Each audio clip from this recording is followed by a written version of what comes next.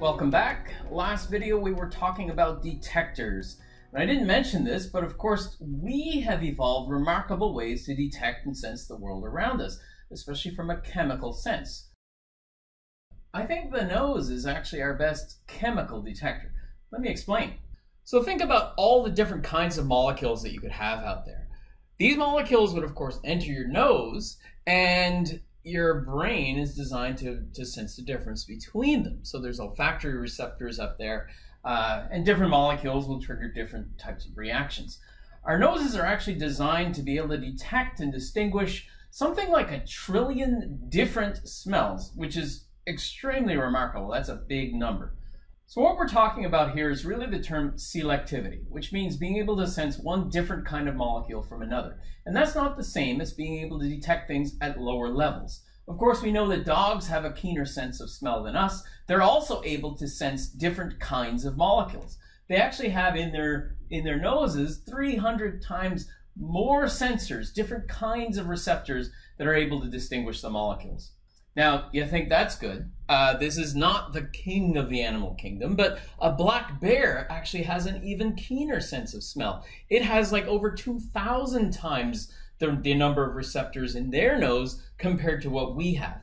I guess this begs the question now which animal has the keenest sense of smell? Uh, maybe uh, it could be a shark. Uh, we know that a, a shark can sense uh, blood in the water around them at really, really low concentrations, like one part per billion. And it's just doing that by sensing the chemicals, sensing very, very low levels. That's a really remarkable level. But in fact, that is nowhere near the, the, the limit of sensitivity in the animal kingdom. The winner goes to this creature right over here. Um, yeah, isn't he lovely? A moth, actually, it's, it's the antenna that you're looking at here. The moth can sense molecules as they bind to those antennae at a concentration, well, better to say, at a level of one single molecule. So nothing can come close to that. These are all down to its ability to sense pheromones in the air and find a mate. So in this video, we're going to be talking specifically about something called a detection limit. That's one of those terms it's a definition, but it's a quantitative definition that refers to how good uh, an instrument or an assay is at sensing different compounds. So to describe the limit of detection, I'm going to give you a specific example. So this is a flame, and it's actually attached to this instrument right here. This is something that we have in our lab. Fortunately, something that you wouldn't be using this year. We would have been using it. Uh, but let me show you right now, and, and you'll know exactly how it works. So we have a flame right here. It's a, it's a propane type flame that's burning compounds. And you can see the bright orange color. And if you're thinking back, then it's like, what's that orange coming from? It's from sodium. Where did the sodium come from? How did it get in? Well, it's actually up from a little straw over here. So a solution of, of water with sodium in it is being drawn up into the flame. And as soon as it does that, it burns. Know it's water, but the, the water is sort of nebulized, little tiny droplets, and they evaporate. They release the sodium, and there's kind of a little bit of a, of a reaction going on within there, but that's what releases the light. Now, the job of the rest of the instrument is actually to be able to capture and quantify how much that light is. So you'll see on, on, this side there's a mirror and it's just there to deflect the light and lens it down onto this apparatus right here. This is a detector, which is kind of the same thing like your smartphone that can see light. And on the front of it, we have what you call a monochromator. It's just something that can dial in the wavelength, the light, the, the specific color that you want to see. So the detector can quantify how much light that is.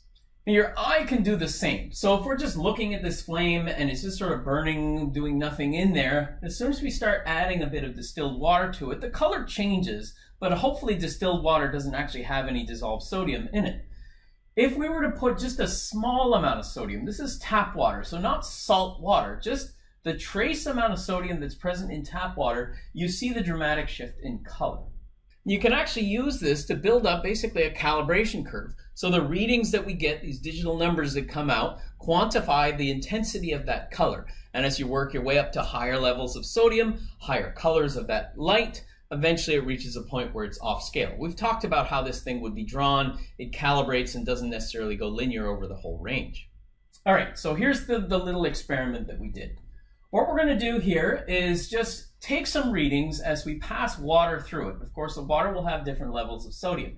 Here's a distilled water. Let's just call that the blank, the background, the base level. You can see it's pretty much hovering around zero. It's not exactly zero, it's flickering because the light is flickering as well. Now we put some water in. So this is just cold tap water straight out of the tap and we're putting it through and quite obviously that color changes to a very bright intense yellow and you see the numbers go up from there. Now we're going to try something else. Believe it or not, we're just going to use tap water once again, but we're going to take it from the hot water uh, out of the sink. And you'll see, maybe, I don't know, you'll see a color change. So this is just hot water, tap water still. Of course, it's still giving us that sodium reading and the numbers are coming out. They're not exactly constant, but the question comes down, is it the same? Are these two numbers the same between cold water and tap water? Well, let's take a look at the data. So I don't have all the, the numbers plotted from what we just saw, but you can kind of see these readings come out from there. Between these numbers, we might as well do something like calculate an average, calculate a standard deviation. In fact, we know how many points we've done. You could do this type of analysis. We talked about that in a pre previous video, being able to compare whether these two numbers are the same or not. That's something called a t-test. So you'll find a video on that. Now, just for fun here, what if we were to cycle back and forth between cold water, hot water, cold water, hot water, back and forth again? You'll see that the numbers are moving up and down, and it's kind of pretty obvious just visually to see every single time you're inserting hot water, it looks definitely at a higher level than the cold water was before. You notice the signals that we had before, we were around the 110 mark, working our way 113, 114. Now, let's just change the numbers. So we're going to get rid of those signal numbers, and I'm just going to call this number 0. So what do I mean by that? Well, I'm just going to say this is the baseline. It really doesn't matter what that number is. It's just a number. This is now our new baseline. And the question is, is this higher than that? Well, I haven't really changed anything. You'd still look at it and say, yeah, that's higher than that. But how do we quantify it? How do we know exactly when you can tell that there is a difference? So that's what limit of detection is really all about. I'll put some numbers on there just so we have them. But when it comes down to it, what we're comparing is the scatter in the data compared to how high the signal is. So we don't just have signal height, we have noise as well. And the two of these are connected together. You can't get more signal without getting more noise. What you're about to see is highly classified. At 0000 hours, Planet X-3 was attacked by a mysterious death sphere. Magnify that death sphere. Why is it still blurry? That's all the resolution we have. Making it bigger doesn't make it clearer. It does on CSI Miami. Ugh. So, here's our question. You're looking at that data, and I'm asking you, do you see a signal? Are you sure? Well, yeah, I mean, it's right there. It's pretty obvious. It's a peak. It looks good. But what if we start dropping that down? At what point do you decide that there's a signal? Now? Is that a signal? Do you need a little bit more? How about now? At what level is this truly above the baseline? Knowing that the baseline is not perfect, it can kind of move up and down. So we don't necessarily know that we have that signal. We have to compare the signal intensity to the noise. And that's what limit of detection is about. So what I'm drawing here is our baseline and the signal above it. The noise is reflected in the standard deviation. So we can calculate standard deviations from multiple numbers of points. So that is our noise. The signal, of course, goes from the baseline up to where we have the, the average of that.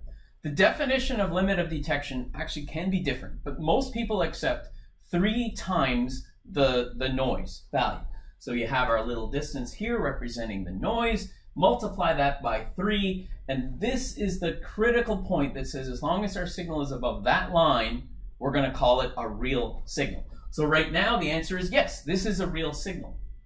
If the signal were to drop, so right at that point where it's dropped below the line, this is the picture that we're saying is no longer a real detectable signal. Another way to say this is that the noise could randomly just sort of bounce up and down like that. You wouldn't be sure that you've detected a signal at this point. Likewise, if the noise were to increase, well, then you need to bring that arrow up three times. So you need to have a higher signal to go proportional to that.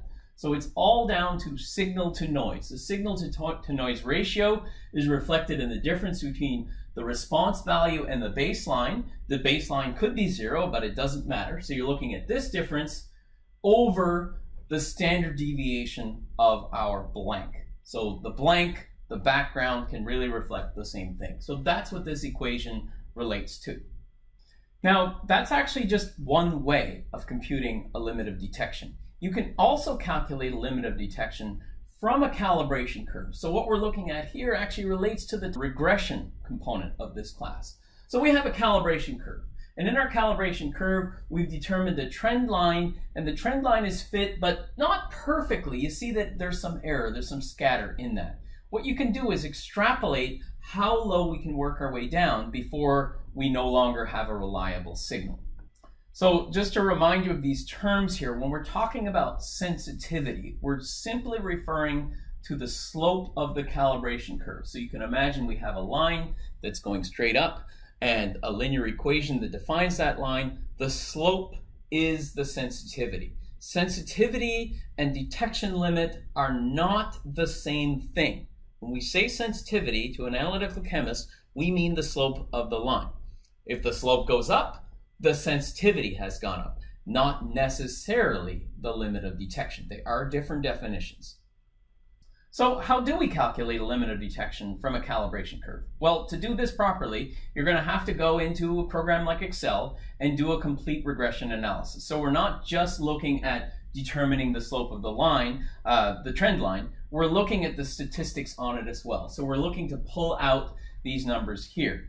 Now, if you're not sure how to do that, there are videos already on this site. So I'll direct you to Dr. Wenzel's video here. And by the way, there's the time span around the 40 minute mark in that video. I know it's long, but he wanted to put a lot of information there. So if you just want to see how to get at this regression output in Excel, he'll show you how to do that just fine. So from our data output, this is actually what you're looking for. You simply need the slope, which I guess you could get immediately just by doing a simple regression. But you also need what we refer to as the standard error. It has the symbol S sub y. So this is the error associated with that regression. So once you've obtained those numbers from your regression analysis, the limit of detection is defined as three times the standard error divided by the sensitivity or the slope. So you do your calculation from there, you get a number 2.5. Whoop-de-doo! What does it all mean, Basil? Okay, that's that's a good question. I mean, it's it's just a number, but like, where is it going? So let's just kind of look at units for a second. If we look at the standard deviation of our response, or S sub y, versus the slope, we're looking at a response divided by a change in response over a change in concentration. So the way our units would work out is that we could basically cancel the response. And in the end, since we have 1 over 1 over concentration, this value is going to report to us a concentration. In other words, the value from the x-axis. So the number that we're computing here is going to refer to the concentration at which the signal is no longer high enough that we can reliably see it. Actually, it's the point where we can just see it. So we're going to be reporting from this equation what the minimum concentration is to reflect uh, a signal that's big enough to be able to measure it. So just a quick summary, the limit of detection is an important term in analytical chemistry, both from the definition standpoint, what it means, as well as how you do the calculations with it. So make sure you're familiar with both and uh, practice your problems, and we'll see you in the next video.